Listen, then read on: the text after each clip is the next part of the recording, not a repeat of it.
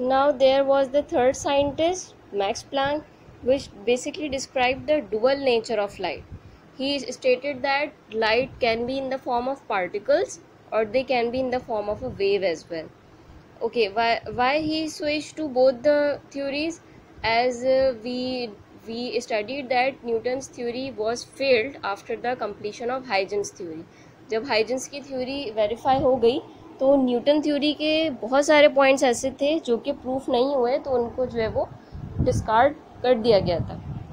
पर max Planck ने दो, दोनों थ्योरीज को ऑब्ज़र्व किया और फिर जो आइंस्टाइन का एक परफॉर्म मेथड था, जिसमें उन्होंने ये चीज़ ऑब्ज़र्व की थी कि जब हीट एनर्जी या लाइट एनर्जी मेटल से स्ट्राइक आउट होती है तो उसमें से जो रेडिएशंस एमिट होती हैं, वो in the form of a wave नहीं होती।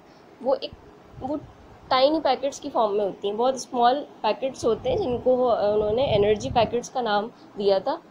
तो और वो energy packets basically wave wave की फॉर्म में नहीं थे। वो तो सिंपल पार्टिकल्स की फॉर्म में थे।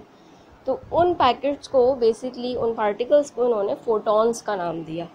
तो इस ऑब्जर्वेशन से जो बात हमारे सामने आई, वो ये कि लाइट जो है वो हमेशा वेव की फॉर्म में नहीं ट्रैवल करती। Light can be in the form of particles और in the form of a wave so in this way he describe the dual nature of light which satisfied both the previous theories कुछ points ऐसे थे जो कि prove नहीं हो सके, पर जो बेसिक है वो ये है कि लाइट जो है वो इलेक्ट्रोमैग्नेटिक वेव फॉर्म में एग्जिस्ट करती है।